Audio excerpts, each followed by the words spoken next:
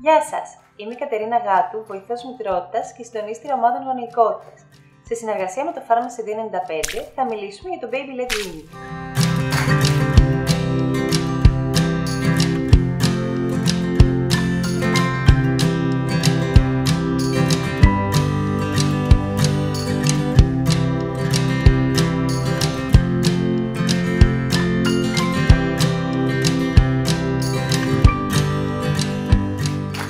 Το baby led weaning όμως τι είναι; Είναι μία μέθοδος ή είναι μία γονεϊκή προσέγγιση; Οι περισσότεροι θεωρούν ότι είναι μία μέθοδος εισαγωγής στερεών τροφών με κομμάτια, δηλαδή δίνοντας την ευκαιρία στα παιδάκια να πιάσουν κομματάκια αντί να φάνε αλεσμένα.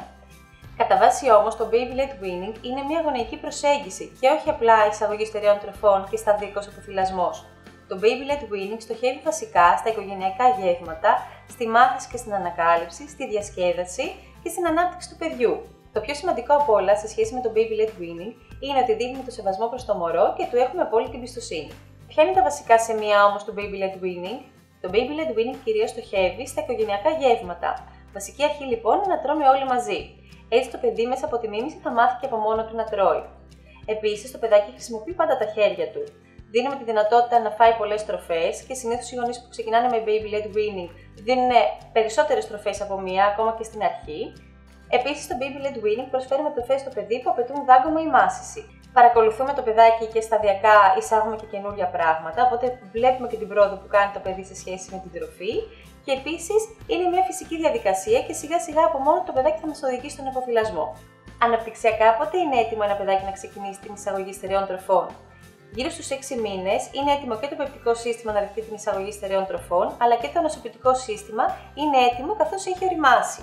Επίσης, παρατηρούμε ότι το παιδάκι μπορεί να καταπιεί αλλά και να μασίσει.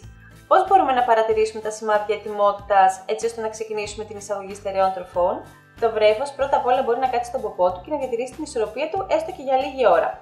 Επίσης, μπορεί να αρπάζει αντικείμενα και να πιάνει αντικείμενα πάνω από το οικογενειακό τραπέζι και να θέλει να τα βάλει στο στόμα του. Συνήθως όλα τα αντικείμενα μέσα στο σπίτι τα βάζει στο στόμα του και επίσης έχει σταματήσει να εξωθεί τη γλώσσα του προς τα έξω.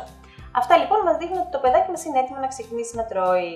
Εφόσον λοιπόν το μωρό μας έχει αναπτύξει όλες αυτές τις ικανότητες, για ποιο λόγο θα πρέπει να τις σταματήσουμε στους 6 πρώτους μήνες; Το μωρό μπορεί να συνεχίσει να τρώει όποτε θέλει, όσο θέλει, όσο γρήγορα θέλει και τις ώρες που θέλει.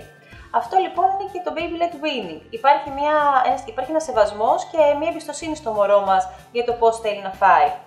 Γιατί λοιπόν υπάρχει όλο αυτό το κενό και απλά να μην συνεχίζουμε να τρώμε με κομμάτια. Αυτή είναι η ουσιαστική και βασική σκέψη για το baby led weaning. Ποιες όμως είναι οι ουσιαστικότερες διαφορές ανάμεσα στο συμβατικό αποθυλασμό και στο baby led weaning.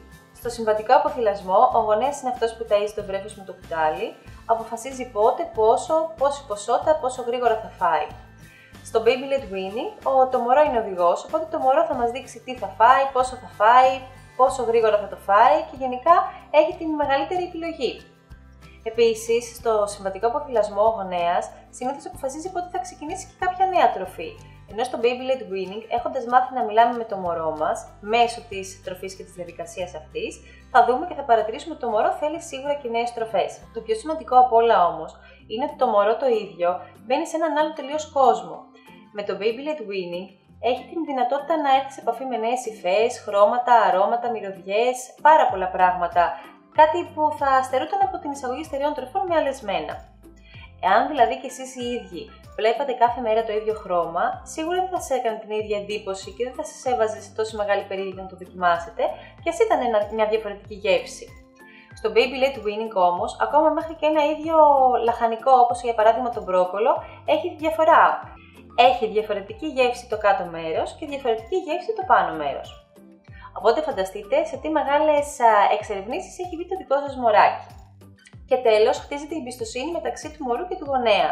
Είναι μια πάρα πολύ όμορφη διαδικασία. Μιλάτε με το μωρό σας, επικοινωνείτε και συνήθως θα παρατηρήσετε ότι τα μωράκια που τρώνε αφοσιώνονται πάρα πολύ στο φαγητό τους. Δηλαδή, μαθαίνουν να τρώνε σωστά και να έχουν μια καλύτερη συνήθεια και για το μέλλον. Θα αναφέρουμε εν συντομία και κάποια άλλα ωφέλη. Όπως είπαμε, είναι πολύ σημαντικό να ρυθμίζουν την όρεξη τα μωρά και αυτό θα, τους, θα τα ακολουθήσει και στα επόμενα χρόνια τη ζωής τους. Επίσης, παρατηρούμε ότι έχουν πολύ καλή στοματική ανάπτυξη, καλή υγεία των δοντιών και μπορούν να μιλάνε ακόμα καλύτερα καθώς έχουν ήδη κατακτήσει τη μάσηση.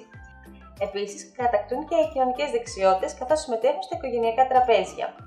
Τέλος, γίνεται πολύ καλός συντονισμός της όρασης και της αφής. Οι περισσότεροι γονείς αγχώνται στην αρχή με ποιο τρόπο θα προσφέρουν αυτά τα κομμάτια, κυρίως για το πώς θα τα κόψουν. Ε, τα περισσότερα παιδάκια αυτό που χρειάζεται είναι να μπορούν να τα πιάνουν. Άρα, αν κόψετε ένα κομματάκι, σίγουρα δεν θα πρέπει να είναι σε στρογγυλό σχήμα για να μην ε, κάτσει στο λαιμό, να το πούμε έτσι απλά. Και επίσης θα πρέπει να μπορεί να το κρατήσει στο χεράκι του.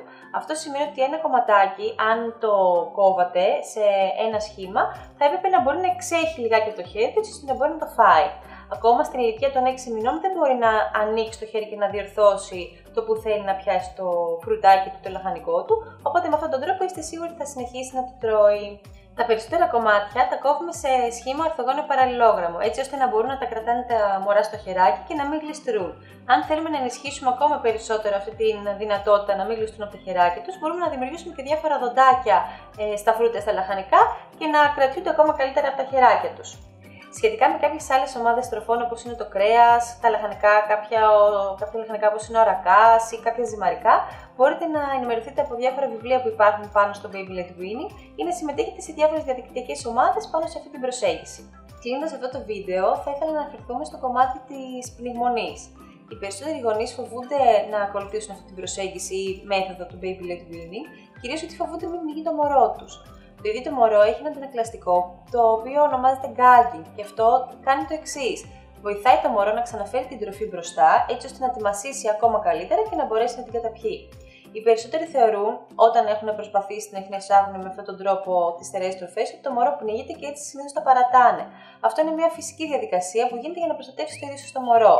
Σε περίπτωση πνιγμονή, δεν θα παρατηρήσουμε κάποιο αντανακλαστικό στο μωρό μας όπως θα παρατηρήσουμε στο gagging, δηλαδή κάποιο βήξιμο ή κάποιο κοκκίνισμα.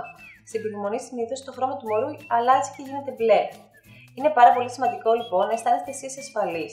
Όταν ξεκινάτε να κάνετε το baby led weaning, αρχικά θα είναι πολύ safe να κάνετε και κάποια μαθήματα πρώτων βοηθειών.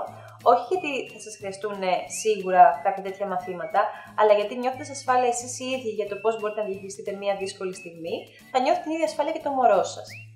Αν σας άρεσε το βίντεό μας, κάντε like, subscribe στο κανάλι μας και πατήστε οπωσδήποτε το καμπανάκι για να σας έρθουν ειδοποιήσεις για κάθε καινούργιο βίντεο που ανεβάζουμε. Α, επίσης, επειδή τρέχει και πολύ ωραίος διαγωνισμός σε αυτό το βίντεο, γράψτε από κάτω σχόλιο για να πάρετε μέρος.